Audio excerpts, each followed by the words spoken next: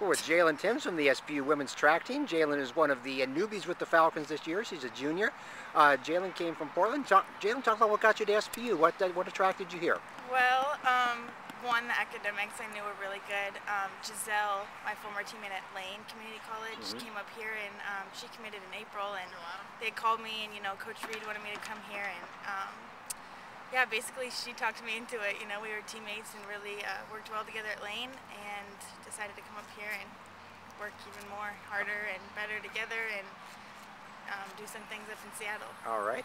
And you've been through the indoor season, early in the outdoor season so far. Uh, talk about your performance and how you're feeling about things. I'm feeling good going into outdoors. Um, I was dogged with in injuries uh, in the winter. Shin splints were bad. Um, okay. Pulled a uh, my right quad actually no, it was calf, right calf, pulled my right calf, and um, so that was kind of frustrating all through the winter. Um, I was able to come out and have a good conference meet in uh, Nampa, but other than that, I'm just excited to run those hurdles, 400s, um, outdoors, and then hopefully score some points at conference and on to nationals for our team. Okay. Now you do 400 hurdles. You also do some uh, 4x4 relay. Yeah. Is that distance? Is that just one of those things that just clicks with you? That 400? Yeah. Um, I started as like a 400, 200, 400 runner, and then um, moved to the hurdles last year, and I've done them seven times now. They've worked out pretty well, so I'm going to continue to do that and hopefully have some more success. Now, had you done hurdles previously before starting? Only last year.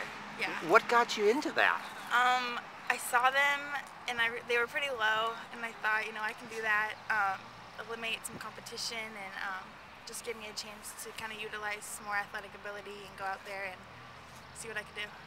Now, how does that compare to an open 400? Those are both pretty grueling races yeah. when you think about it. They're different. Um, the hurdles, you have more to think about. You know, you're not just thinking about how tired you are when you're running. Um, so in that case, I, would say I like the 400 hurdles a little bit better. Um, but the 4x4 is still my favorite 400 meter race. Okay what are some optimum times? We have about two months between now and postseason. By, by May, what are you looking for? Under a minute. Um, my best is 62 flat. And that's in the open four? That's the 400 hurdles. That's 400 hurdles, okay. Uh -huh. um, I would like to be under a minute and then hopefully uh, punch my ticket to nationals that way. And okay. then the um, the open four, I would say under 56, you know, hopefully. Okay. Yeah.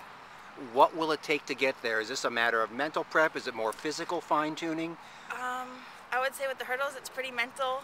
Um, just got to get over them a little bit uh, sharper and just uh, be more confident and attack them. And then that open four, you just kind of leave it all out there and um, just be consistent with training is a big thing and stay injury free.